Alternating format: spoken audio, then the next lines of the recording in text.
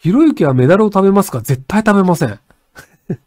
あの、その前にも言ったんですけど、昭和の時代ってあのメダル噛む文化がなんかあったんですよね。なので多分その名古屋の河村市長もそのなんかメダルを噛む文化を引き継いで噛んじゃったと思うんですけど、あの、なんかその他人が触ったものを口に入れるのが僕嫌なんですよ。